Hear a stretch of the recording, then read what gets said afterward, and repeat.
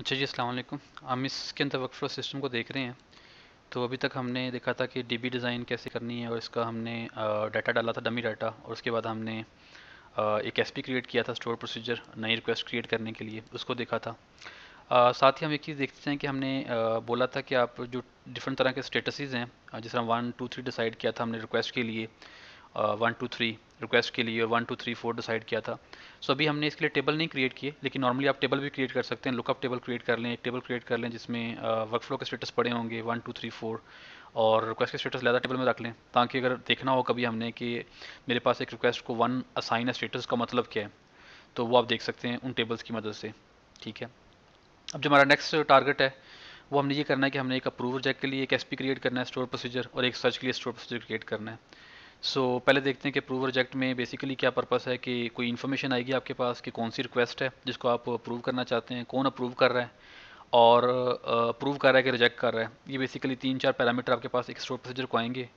आपने करना है क्या है कि आपने फ्लो के अंदर जाके देखना है कि जो बंदा अप्रूव करने जा रहा है, क्या इसको ये इस वक्त असाइंड है कि नहीं है? यानी पेंडिंग स्टेट में है कि नहीं है? अगर पेंडिंग स्टेट में होगी, आप उसको जो भी स्टेटस बाहर से आया होगा अप्रूव रिजेक्ट का, वो कर देंगे। और फिर जो उसका नेक्स्ट अप्रूवर है, उसको आप असाइन कर देंगे। उसका स्टेटस यानी पेंडिंग कर देंगे नॉट असाइन से। और अगर सबने अप्रूव कर दिया है, उसका यानी सब वर्क फ्लो के अंदर अप्रूवल मार्क हो गया है तो फिर आप रिक्वेस्ट का स्टेटस अप्रूव मार्क कर देंगे। और अगर अगर ये जो बाहर से एक यूज़र ने रिक्वेस्ट स्टेटस भेजा है, वो रिजेक्ट का भेजा है तो फिर आपने वर्क फ्लो के अंदर उस बंदे का स्टेटस रिजेक्ट मार्क करना है बाकियों को रिजेक्ट मार्क करना है और रिक्वेस्ट को भी मार्क कर देना ये बेसिक से मैंने आपको रिक्वायरमेंट एक्सप्लेन की है। अब हम इसके देखते हैं हम इसको कैसे करेंगे। सो so, ये बेसिक सी रिक्वायरमेंट है अप्रूवर जैक के एसपी की। रिक्वेस्ट आईडी आएगा अप्रूवर आईडी आएगा जो अप्रूव या हमारे पास स्टेटस होगा रिजेक्ट का दो या तीन वो आएगा और साथ रिमार्क्स आएँगे जिसको हम वर्क फ्लो के अंदर स्टोर करेंगे। सो अब हम यहाँ पे स्टेप बाय स्टेप इन चीज़ों को सॉल्व करते हैं इसको। पहला काम ये हमने करना है कि चेक करना है कि क्या वाकई ही इस रिक्वेस्ट के अगेंस्ट वर्क फ्लो के टेबल में इस बंदे की एंट्री पड़ी हुई है पेंडिंग स्टेटस के साथ। अगर है तो हम अगला काम करेंगे वरना हम उसको इधर से एरर दे देंगे इस चीज़ का। सो so, पहला स्टेप ये हमारा है कि हमने वर्क फ्लो आई देखना है कि क्या वाकई रिक्वेस्ट वर्क फ्लो के टेबल के अंदर इस रिक्वेस्ट के लिए जो आईडी बाहर से आया है इस अप्रूवर के लिए वन स्टेटस के साथ कोई एंट्री पड़ी, वन का मतलब पेंडिंग है एंट्री पड़ी है कि नहीं पड़ी? और हमने कहा कि अगर पड़ी होगी तो वर्क फ्लो इस वेरिएबल के अंदर, यहाँ पे हमारे पास एक वेरिएबल होना चाहिए, इस नाम से हम डिक्लेयर कर लेते हैं अभी। इस वेरिएबल के अंदर उसका आईडी आ जाएगा, और अगर नहीं होगी तो इस वेरिएबल के अंदर नल आ जाएगा। यहाँ पे हम वेरिफिकेशन कर रहे हैं कि अगर वर्क फ्लो आईडी के वेरिएबल के अंदर हमारे पास ज़ीरो से बड़ी वैल्यू आई है, और हमने ये भी चेक लगा लिया कि अगर नल है तो उसको ज़ीरो कर दो, ताकि कंडीशन फॉल्स हो जाए। अगर ज़रूरत बड़ी आई इसका मतलब अगर रिकॉर्ड मिल गया है। और साथ ही चेक कर लिया कि जो यूज़र ने वर्क फ्लो स्टेटस दिया है, वो दो या तीन ही है ना अप्रूव या रिजेक्ट है। अगर इसके अलावा है तब भी हम कह देंगे इनवैलिड है। तो हमने कहा, अगर ये ट्रू है तो हम कोई काम करेंगे, वरना हम इधर से उसको एरर रिटर्न कर रहे हैं। समथिंग आप माइनस रिटर्न कर दें या कोई स्ट्रिंग रिटर्न कर दें बताने के लिए कि जो आप, आपने डाटा भेजा है, वो इनवैलिड है, वो उसके अंदर कोई प्रॉब्लम है। अब यहाँ पे हम वो काम करेंगे कि हमने अपने पास इस वर्क फ्लो के टेबल में जो आईडी मिला है इसके अगेंस्ट हमने स्टेटस चेंज करना है और बकाया जो अगले काम करने हैं वो करते हैं इसके अंदर। सो so, यहाँ पे हम ये इसके अंदर आ गए ये बता रहे हैं कि हमारे पास डाटा वैलिड है और जो करंट यूज़र है वो एलिजिबल है इस काम को करने के लिए। सो so, पहला काम जो हमने एक्चुअल काम करना है वो अब करने लगे कि हमने वर्क फ्लो के टेबल में जाके अपने वर्क फ्लो के टेबल को अपडेट करना है। और नोट करें यहाँ पे स्कीमा यूज़ नहीं किया। अगर आप ये डी डॉट स्कीमा ना यूज़ करें बाय डिफ़ॉल्ट वो डी बी ही अज्यूम करता है। आपने कहा इस टेबल को अपडेट करो। वर्क फ्लो स्टेटस के कॉलम में जो स्टेटस बाहर से आया है अप्रूव कर रिजेक्ट का वो सेट कर दो। लास्ट मॉडिफाइड ऑन में करंट टाइम सेट कर दो। रिमार्क्स जो बाहर से हैं, वो सेट कर दो। लेकिन किस वाले रिकॉर्ड के अंदर जो आईडी आपने पहले फाइंड किया था, उसी आईडी को यूज़ करते हुए आपने कहा कि वो कर दो। अब ये काम एक हो गया कंप्लीट इससे आपके पास स्टेटस अपडेट हो जाएगा वर्क फ्लो के अंदर। दूसरा काम आप ये देखना है आपने कि अगर ये अप्रूव की रिक्वेस्ट है, अगर तो ये अप्रूव्ड का काम हो रहा है तो फिर हमने देखना है कि अगला जो यूज़र है, उसको पेंडिंग मार्क करना है। और अगर सारे हो गए इन्हें अप्रूव किया और सारे अप्रूव हो गए तो फिर हमें रिक्वेस्ट के स्टेटस को चेंज करना है। अगर ये अप्रूव नहीं है रिजेक्ट है तो हमें डिफरेंट तरीके से ट्रीट करना है तो हमने एक और इफेल्स ऐड कर लिया इस चीज़ को हैंडल करने के लिए। अब पहले हम अप्रूवल कोड देखते हैं, फिर हम रिजेक्ट का कोड देखेंगे यहाँ पे।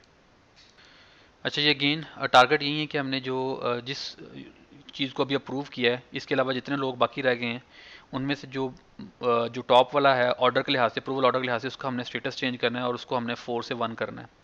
सो अगेन हम यहाँ पे टेबल टाइम टेबल भी यूज़ कर सकते हैं, लेकिन अगेन मैं यहाँ पे सी टी यूज़ करने जा रहा हूँ कॉमन टेबल एक्सप्रेशन तो उसके लिए अगेन वही काम करेंगे कि हम पहले वर्चुअल डाटा गेट करेंगे. तो कैसे गेट करेंगे? वहीं कि रिक्वेस्ट वर्क फ्लो में से जाओ वर्क फ्लो स्टेटस और लास्ट मॉडिफाइड करो रो नंबर असाइन करो साथ जितने भी रिकॉर्ड आ रहे हैं, इसकी बेस पे सॉर्ट करके. लेकिन डाटा कौन सा लेके आओ वर्क फ्लो के टेबल में से? इस रिक्वेस्ट आईडी का. और जिनका वर्क फ्लो स्टेटस फोर है तो वो नो दैट के बाकी जो रिकॉर्ड पेंडिंग रह गए हैं, अगर हुए, उनका स्टेटस फोर होगा बिकॉज़ नॉट असाइन का स्टेटस है। ये जो डाटा आएगा, उसको हमने एक डी बोल दिया सी टी के अंदर। और उस डी को आपने अपडेट किया, पहले जिस तरह न्यू रिक्वेस्ट में भी वही काम कर रहे हैं तो हमने कहा कि इसके अंदर जो रो नंबर वन यानी जो पहला रिकॉर्ड होगा जितने भी रिकॉर्ड आए हैं, एक आया, तीन आया, चार आए हैं, जो सबसे पहला रिकॉर्ड है, जिसको रो नंबर वन असाइन हुआ है, उसका स्टेटस वन कर दो, इन्हें से पेंडिंग मार्क कर दो, और लास्ट मॉडिफाइड ऑन को आपने अपडेट कर दिया अकॉर्डिंगली एक काम ये किया है दूसरा काम आपने ये चेक करना है कि ये काम हुआ या नहीं हुआ, लेकिन अब आपने चेक करना है कि मेरे पास, हमारे पास जो है वो देखना है कि क्या रिक्वेस्ट वर्क फ्लो के टेबल में इस रिक्वेस्ट के अगेंस्ट जो हमारे पास रिक्वेस्ट है रिक्वेस्ट आईडी है, कोई एंट्री पड़ी हुई है, जिसका, जो, जिसका स्टेटस क्या है तो हम यहाँ चेक करेंगे कि इस रिक्वेस्ट के अगेंस्ट चेक करो वर्क फ्लो के टेबल में कि कोई एक एंट्री ऐसी है जिसका जो स्टेटस अभी तक एक या चार है, अगर तो हम, हमें कोई रिकॉर्ड मिल जाता है, यानी कोई ऐसी एंट्री मिलती है जिसका स्टेटस अभी तक एक या चार है मतलब यहाँ पेंडिंग या वो नॉट असाइंड है तो हम कुछ नहीं करेंगे। लेकिन अगर सब एंट हमें कोई एंट्री नहीं मिलती, इसका मतलब सबकी, सबका स्टेटस क्या हो चुका हुआ है अप्रूव हो चुका हुआ है। तो हमने सिंपली क्या करना है कि रिक्वेस्ट के टेबल में जाके हमने रिक्वेस्ट का स्टेटस भी अप्रूव मार्क कर देना टू कर देना अगेंस्ट रिक्वेस्ट आईडी ये हमारा काम हो गया, जब आपको कोई भी रिकॉर्ड नहीं मिलेगा, और आप, जो आप अपना डिसीज़न करना है कि रिक्वेस्ट मेरी अप्रूव हो चुकी है। अब नेक्स्ट टारगेट हमारा है कि हमने रिजेक्ट को हैंडल करना है। तो रिजेक्ट के केस में हमने यही काम करना है कि हमने ये तो हम स्टेटस तो चेंज कर चुके हैं वर्क फ्लो में। साथ हमने ये काम करना है कि जो रिमेनिंग एंट्रीज़ हैं, उनको भी रिजेक्ट मार्क करना है और जो रिक्वेस्ट का स्टेटस उसको भी रिजेक्ट मार्क करना है। हम उसको देखते हैं कैसे करेंगे। सो ये हमारा रिजेक्ट वाला केस आ गया एल स्टेटमेंट है। यहाँ पे हम क्या कह रहे हैं कि जितनी रिमेनिंग एंट्रीज रह गई हैं, इस रिक्वेस्ट के अगेंस्ट वर्क फ्लो स्टेटस चार, यानी जो भी तक नॉट असाइंड है रिमेनिंग वाली उनके, उन तमाम का जो स्टेटस है वो तीन सेट कर दो यानी रिजेक्टेड कर दो और रिमार्क्स में हमने खुद एक रिमार्क्स डाल दिया है। कोई रिमार्क्स डाल दें जिससे आइडिया हो जाए कि ये रिजेक्ट क्यों हो रही है? बिकॉज़ किसी और ने रिजेक्ट किया है। आप यूज़र का आईडी भी डाल सकते हैं। किसी यूज़र ने रिजेक्ट किया था, इसलिए हम इनको रिजेक्ट मार्क कर रहे हैं। अब इनकी वर्थ नहीं जाएगी वैल्यू कोई नहीं होगी।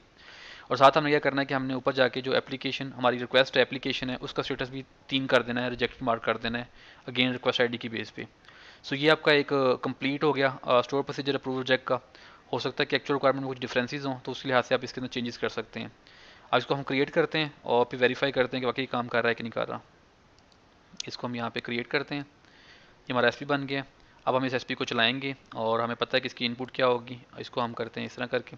इसको करने से पहले हम देख लेते हैं कि हमारे पास जो रिक्वेस्ट बनी थी जो हमने यहाँ पे क्रिएट की थी इसको हम यहाँ पे देख लेते हैं कि इसके अंदर क्या सूरत हाल है कौन सा अप्रूवर जिसको साइन है वो चीज़ें वेरीफाई कर लेते हैं। सो so, मैं इस एस को कॉल करने जा रहा हूँ। और पैरामीटर पास करने रिक्वेस्ट आईडी अभी तक हमने एक रिक्वेस्ट क्रिएट की है, वन वाली। अप्रूवर आईडी तो अब अगर आप यहाँ पे जाके देखें तो आपको नज़र आएगा कि इसके तीन अप्रूवर थे तीन, चार, पाँच। तो आप अगर सही वाला ऐड लेट सपोज़ करते हैं हम गलत वाला एंटर करके देखते हैं। मैं यहाँ पे गलत वाला अप्रूवर एंटर कर देता हूँ। आगे वर्क का स्टेटस है। कहता हूँ कि ये वाला जो अप्रूवर चार जिसकी बारी नहीं है, वो इसको अप्रूव करना चाह रहा है। और साथ हम कुछ रिमार्क्स एंटर कर देते हैं टेस्टिंग और देखते हैं इसका रिज़ल्ट क्या आता है। इसको मैं एग्जीक्यूट करता हूँ। तो उसे माइनस वन रिटर्न किया इट मीन्स कि पैरामीटर इनकरेक्ट थे, यही हमने हैंडलिंग की हुई थी कि अगर वो आपके पास एल्स केस आए तो यहाँ माइनस वन रिटर्न हो कि उसके पैरामीटर नहीं मिले सही। दोबारा इसको देखते हैं डाटा को कि हमारे पास असल में कौन सा अप्रूवर था जिसकी बारी है, वो है तीन वाला।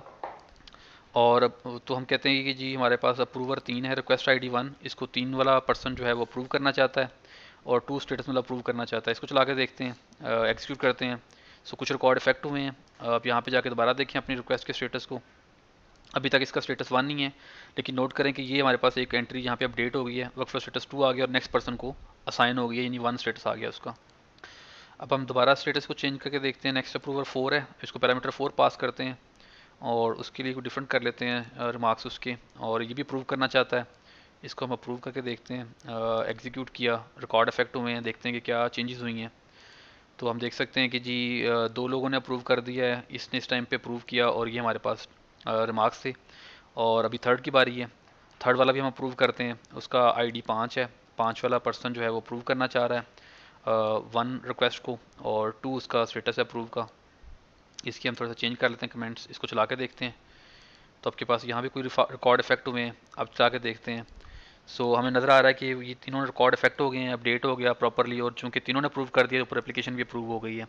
सो आपके लिए ये पूरा वर्क फ्लो सही चल रहा है। अब अगर हम एक नई एप्लीकेशन क्रिएट करते हैं, यहाँ जाके वापस, और टेस्टिंग न्यू करते हैं, और इसको क्रिएट करते हैं सेम टाइप की, और मैं इसको एग्जीक्यूट करता हूँ तो हमें जो आईडी मिला है, वो टू मिला है। अब हम अपनी क्यूरी चला कर देख लेते हैं कि वाकई टू वाले रिकॉर्ड आए हैं कि नहीं आए। टू के साथ देखते हैं इसको कि क्या डाटा पड़ा है टेबल में रिक्वेस्ट में और वर्क फ्लो में। तो हमें नज़र आ रहा है कि हाँ जी, एक नई बन गई है, उसके ये सूरत हाल है, बिल्कुल ठीक है। अब हम कहते हैं कि जी, ये नीचे वाला प्रोसेस दोबारा चलाओ टू के साथ और तीन के साथ लेट सपोज़ करें, तीन इसको अप्रूव कर देता है। इसको तीन वाला जो पर्सन है वो अप्रूव करने लगा टू का मतलब अप्रूव है लास्ट वाला टू तो टेबल का स्टेटस दोबारा देखें क्या सूरत हाल है। तो यू कैन सी दैट कि पहले ने अप्रूव कर दिया। अब जो दूसरा पर्सन है, वो इसको रिजेक्ट कर देता है। तो रिजेक्ट वाले केस में क्या होना चाहिए? यानी चार वाला जो यूज़र है, वो इसको रिजेक्ट करने लगा है। तो रिजेक्ट वाले केस में क्या होना चाहिए कि इसकी इसको, ये भी रिजेक्ट हो जाएगा। ये जो मैंने सेलेक्ट किया और साथ अगला रिकॉर्ड जितने भी होंगे, एक, दो, तीन, दस, सारे रिजेक्ट हो जाएँगे और एप्लीकेशन का स्टेटस भी रिजेक्ट मार्क हो जाएगा, ठीक है? सो लेट्स डू इट इसको करते हैं हम। तो आपके पास कुछ रिकॉर्ड इफ़ेक्ट हुए हैं, इनको सर्च कर, देखते हैं दोबारा। तो हम देख सकते हैं कि ये तो हमारा वो अपडेट हो गया रिजेक्ट हो गया और साथ अगले में भी उसको रिजेक्ट मार्क कर दिया, जितने भी रिमेनिंग थे। साथ हमने वो मार्क्स ऐड किए थे, वो आ गए और एप्लीकेशन का स्टेटस भी रिजेक्ट मार्क हो गया। सो आपका ये खाता तक ये अप्रूवल का रिजेक्ट का जो बेसिकली रिक्वेस्ट करने का वो कंप्लीट हो गया। विद सम वैलिडेशन भी लगा दी हमने चीज़ें कर ली हैं। अब जो हमारा लास्ट टारगेट है इस पार्ट का वो ये कि हमने सर्च का एक लिखना है और यूज़र बाहर से इनपुट पास करेगा और आप उसको कुछ रिज़ल्ट रिटर्न करेंगे उस सर्च की बेस पे। नॉर्मल सर्च स्क्रीन भी हो सकती है, कोई बेसिक रिपोर्ट भी हो सकती है, जिस पे यूज़र क्राइटेरिया देकर सर्चिंग करना चाह रहा है, ठीक है? सो लेट्स डू इट जब हम जब एक एस क्रिएट करने जा रहे हैं सर्च के लिए तो ये पैरामीटर कुछ हमने डिसाइड किए हैं request type request title request status start date end date तो यूज़र इनकी बेस पे डिफरेंट तरह की इनपुट देकर रिकॉर्ड्स को सर्च कर सकता है। टाइप से मराद है वो नंबर एंटर करेगा वन टू थ्री और हम उसकी बेस पे जो उससे रेलिवेंट रिक्वेस्ट होंगी वो सेंड कर देंगे। और हम इनके दरमियान एंड यूज़ करेंगे। एक ऑप्शन ये हो सकती है कि हम यूज़र को मंडेटरी करें कि वो सारे पैरामीटर प्रोवाइड करें और हम उसको हैंडल कर लें, जो कि काफ़ी स्ट्रेट फॉरवर्ड काम है आसान सा काम है। उसमें आपने सिंपली इनकी बेस पे कंडीशनिंग करनी है और डाटा ले लेना है इसको भी देखते हैं पहले हम। दूसरी ऑप्शन ये हो सकती है कि आप यूज़र की इनपुट की बेस पे कि अगर उसने टाइप एंटर नहीं की यानी उसने ज़ीरो सेंड कर दिया तो आप इसको इग्नोर कर दें। क्योंकि अगर आपने अपनी क्यूरी के अंदर एंड लगाया होगा तो रिक्वेस्ट टाइप में अगर ज़ीरो आएगा तो डाटा नहीं मिलेगा उसको। सो so, आपको ये अपनी क्यूरी को अपनी सर्च को थोड़ा सा फ्लेक्सिबल करने के लिए यूज़र को ये अलाउ करना है कि वो कुछ भी एंटर ना करे तो आप उसको फिर भी सर्चिंग करके दे दें। तो अभी हम एज्यूम करते हैं कि अगर उसने रिक्वेस्ट टाइप में यूज़ नहीं करना क्यूरी के अंदर उसने डाटा पास नहीं करना तो वो ज़ीरो पास करेगा टाइटल एम सेंड कर देगा।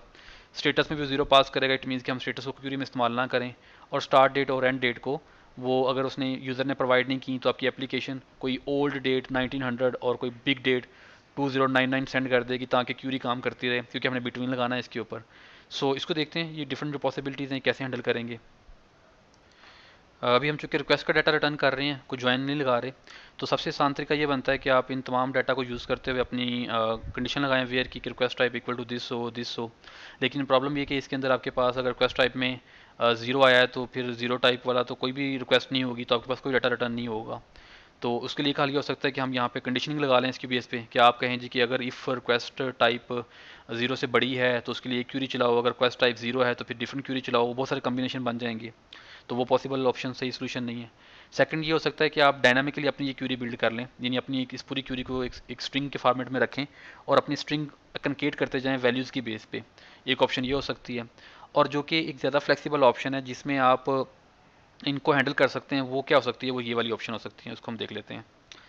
उस पर आप ये करें कि जो आपने एग्जैक्ट मैच करने हैं उनको एग्जैक्ट मैच कर लें। जिस तरह टाइटल को आपने मैच करना है तो अगर वो एम होगा तो ऑटोमेटिकली वो फिर भी काम चल जाएगा। आपने डेट पे हैंडलिंग कर ली कि डाटा आपको स्टार्ट डेट एंड डेट का पीछे से बन के आएगा, कोई ना कोई डेट आएगी, बड़ी डेट या छोटी डेट आएगी स्टार्ट डेट में अगर यूज़र ने नहीं दी, ताकि यहाँ पे आपकी क्यूरी को मसला ना हो। तो इन शॉर्ट अगर कहता है यूज़र कहता है, मैंने डेट रेंज नहीं देनी तो आप फिर भी खुद, कुछ ना कुछ स्टार्ट डेट और एंड डेट सेंड करेंगे, तभी आपकी क्यूरी चलती रहेगी। जो टाइप और स्टेटस इसके लिए हम एक ट्रिक खेल रहे हैं। वो ट्रिक ये है कि आप केस की स्टेटमेंट यूज़ करें और चेक करें कि रिक्वेस्ट टाइप में अगर तो आपकी वैल्यू जो है, वो आपकी मर्ज़ी की है तो आप फिर इस कॉलम को इससे मैच करवाएँ जो ऊपर से आ रहा है। अगर वो इसके अलावा है तो आप इस कॉलम को इसी कॉलम से मैच करवा दें। सो so, जब वो इस क्यूरी को ऑप्टिमाइज़ कर रहा होगा तो वो इस बेसिकली इस क्यूरी को एक्चुअली कंडीशन चेक ही नहीं करेगा। यही ट्रिक आपने रिक्वेस्ट स्टेटस का स्टेटस के साथ यूज़ किया है बिकॉज़ वो भी इस तरह का था। तो इस तरह के आप और कॉलम भी हो सकते हैं। तो आप उन वैल्यूज़ की बेस पे इस वेरिएबल को यूज़ करना है कि नहीं करना आप डिसाइड कर सकते हैं। सो so, अगर हम इसको क्रिएट करते हैं अपने पास इस एसपी को जो कि हमें एक हद तक अपनी रिक्वेस्ट की डिटेल दिखाएगा और इसको चला के देखते हैं, कैसे हम चलाएँगे? जी, हम इसको एग्जीक्यूट करते हैं टेस्टिंग के लिए। एग्जीक्यूट पैरामीटर पास करते हैं। अभी चूँकि हमारे पास रिक्वेस्ट टाइप एक ही है, मैं ऐसे करते हैं कि हम अपनी रिक्वेस्ट टाइप एक और क्रिएट कर लेते हैं। और उसके लिए हमें ज़्यादा काम नहीं करना, सिर्फ़ अपना ये कॉल करना मैं कहता हूँ रिक्वेस्ट टाइप टू भी क्रिएट करो और करने वाला वन ही है। अभी हम ये कह देते हैं मिसाल के तौर पर सो इसको हम एग्जीक्यूट करें तो आपके पास एक एप्लीकेशन बन गई है। आप देख भी सकते हैं कि रिक्वेस्ट में क्या एंट्री आई हुई हैं। तीन रिकॉर्ड आपके पास आ गए हैं इसके अंदर। सो अब अगर हम यहाँ पे टेस्टिंग करें जाके, और मैं कहता हूँ कि जी मुझे आप वन वाले रिकॉर्ड दिखाओ टाइटल उनका कुछ भी हो स्टेटस उनका कुछ भी हो, और स्टार्ट डेट मैं एंटर कर देता हूँ यहाँ पे कि टू ज़ीरो वन सेवन और zero eight zero one first of August से लेकर मुझे डाटा दिखाओ, जो कि 2000 मैं कहता हूँ कि ये यूज़र ने एंड बोला है तो आप फिर यूज़र यहाँ से हमें इस तरह की डेट रिटर्न करेगा, जिसमें कोई भी उम्मीद होगी कि डेट बड़ी होगी सारी रिक्वेस्ट से। वो आपको इस तरह डेट रिटर्न करेगा। मैं इस क्यूरी को चला के देखता हूँ। तो आपके पास कोई रिज़ल्ट नहीं आया। उसकी रीज़न क्या हो सकती है हमारे पास? कि आपने जो डेट पास की है ज़ीरो पास किया आपने तो रिक्वेस्ट स्टेटस को आपने हैंडल किया हुआ है। हमारे पास वन टाइप की कितनी रिक्वेस्ट हैं? देख लेते हैं अभी हम, अगर आपको ऐसा कोई मसला आए। तो वन टाइप की दो रिक्वेस्ट हैं और स्टेटस ज़ीरो है। ज़ीरो को तो वो हैंडल नहीं करेगा टाइप को मैच नहीं करेगा। डेट उनकी जो है, वो क्रिएटेड ऑन जो है, वो इसके दरमियान लाई करती है। सॉरी डेट हमारे पास 20 जुलाई है तो डेट का मसला आ गया। सेवन करता हूँ और चला के देखें इस रिज़ल्ट को आप तो आपके पास दो रिज़ल्ट आ गए। अगर आप कहते हैं जी, मुझे सिर्फ़ कुछ अपने मजीद टाइटल में भी लिखा हुआ है तो आपके पास रिज़ल्ट और फ़िल्टर हो जाएँगे, जो आप देखना चाहते हैं। अगर आप कहते हैं टाइप को कंसिडर ही ना करो तो आप basically simple type zero pass कर दें तो वो नोट करें, ये कर देगा आपके लिए। सो so, थोड़ा सा हमने बेसिक कंसेप्ट लिया है। कुछ हमने इसके अंदर ट्रिक्स देखे हैं जो कि नॉर्मली यूज़ होते हैं आपको हेल्प भी करेंगे। जब आप एक्चुअल काम करेंगे तो इतना सीधा काम नहीं होगा लेकिन कम्प्लेक्सिटी आप अंडरस्टैंड कर सकते हैं कि मैं किस तरह आपको एक्सप्लेन करना चाह रहा हूँ। तो हो सकता है आप यहाँ पे रिक्वेस्ट के टेबल के साथ वर्क फ्लो को भी ज्वाइन लगा रहे हो और साथ शो कर रहे हो कि जी अगर वन है तो आप वन की बजाय आप स्टेटस रिटर्न कर रहे हो। एक्चुअल रिक्वायरमेंट में ऐसा काम हो रहा होगा आपके पास जो रहा होगा। सो आई होप सो कि आपको इस एक्सरसाइज से जो हमने इन दो वीडियोज़ में की है कुछ ना कुछ ज़रूर हेल्प ज़रूर हेल्प मिलेगी और आप अपने काम करने के जो स्टाइल है, उसको आप इम्प्रूव करेंगे, देखेंगे कि हम क्या कुछ कर सकते हैं डाटाबेस के अंदर। और इस, इन इन, इसमें जो हम काम कर रहे हैं बेसिकली हम डाटाबेस के अंदर अपनी लॉजिक मूव कर रहे हैं स्टोर प्रोसीजर के लेवल पे। जिसका फ़ायदा ये कि जिस तरह अभी आप ये देखें, आपने अप्रूव और रिजेक्ट की लॉजिक की, आपको डिफरेंट टेबल्स को हिट करना पड़ा अपडेट करना पड़ा। क्लाइंट से सिर्फ़ एक हिट आई है कि ये चला दो। आप सारी लॉजिक अगर डाटाबेस साइड पे थी तो आप उन डाटाबेस के जो टेबल्स हैं, उधर ही प्ले कर रहे हैं, आपकी बार बार क्लाइंट सर्वर से कम्युनिकेशन नहीं हो रही इन कामों को करने के लिए। इसके साथ हम एक और चीज़ देखते हैं कि आपके पास डाटाबेस के अंदर यहाँ पे अगर आप देखें तो डायग्राम्स की एक ऑप्शन है। इसका क्या मतलब है? इसको हम थोड़ा सा एक्सप्लोर कर लेते हैं। ये इससे रेलिवेंट तो नहीं है, लेकिन आपके लिए एक यूज़फुल टिप है। आप यहाँ पे न्यू डाटाबेस डायग्राम करें, अगर क्रिएट डाटाबेस डायग्राम के ऊपर करके तो ये आपके लिए एक, आपको एक ई आर डी क्रिएट करने की ऑप्शन दे देगा, जिसके अंदर आप बेसिकली आप अपने जो टेबल्स हैं, उनको ऐड कर सकते हैं। और उनको देख सकते हैं डिफरेंट तरीक़ों से। सो so, आपको पूछ रहा है कौन कौन से टेबल अपने डायग्राम में ऐड करने हैं। हम पाँचों टेबलों को ऐड कर लेते हैं। जो ही आप ये टेबल ऐड करेंगे तो ये आपको पीछे डायग्राम के अंदर एक ऑर्डर में ये तरतीब के साथ दिखा देगा ये आपको जैसा नज़र आ रहे हैं यहाँ पे। आप इनको अपनी मर्ज़ी के मुताबिक यहाँ पे कर सकते हैं लेके आ सकते हैं इस तरह करके जो आपने करने हैं। आप इसको zoom zoom in zoom out भी कर सकते हैं। मैं इसको थोड़ा सा कर देता हूँ यहाँ पे देखने के लिए। उसके बाद आप इनके साथ प्ले भी कर सकते हैं, अगर आपने फॉर एग्जांपल इनमें कोई रिलेशनशिप बिल्ड करना है, क्योंकि आपने फ़िज़िकल फॉरन की कंस्टेंट नहीं लगाई हुई, लेकिन अगर आप लगाना चाहते हैं, वो भी लगा सकते हैं। जस्ट कॉलम को एड पकड़ें और एड ड्रॉप कर दें। मिसाल के तौर पर देखें कि यहाँ पर मेरे पास जो एम्प्लॉय का है, यहाँ पे जो अप्रूवर आईडी था, वो एम्प्लॉय आईडी की तो फ़ॉरन की यूज़ हो रही है तो मैं इसको यहाँ पे लाकर इसके ऊपर लाकर छोड़ूँगा। तो ये मुझे पूछ रहा है कि जी आपने एक प्राइमरी की टेबल ये है और फॉरेन की टेबल ये वाला है। यहाँ पे एम्प्लॉय आईडी प्राइमरी की और यहाँ पर अप्रूवर आईडी ठीक है, मैं ओके बोलूँगा। तो अब इसके दरमियान एक फ़िज़िकल कंस्टेंट लगी जब मैं सेव करूँगा इसको। एक फ़िज़िकल कंस्टेंट लग जाएगी। डायग्राम को आप सेव भी कर सकते हैं। इसके अलावा आप यहाँ पे इन कॉलम्स की डिटेल भी देख सकते हैं, अगर इसके ऊपर राइट क्लिक करें। तो आप यहाँ पे टेबल व्यूज़ डिफरेंट तरह के बने हुए हैं। स्टैंडर्ड व्यू है, जिसके अंदर आप इसके फ़ौरन यहाँ पे नल टाइप चेंज कर सकते हैं डाटा टाइप चेंज कर सकते हैं, नया कॉलम ऐड कर सकते हैं।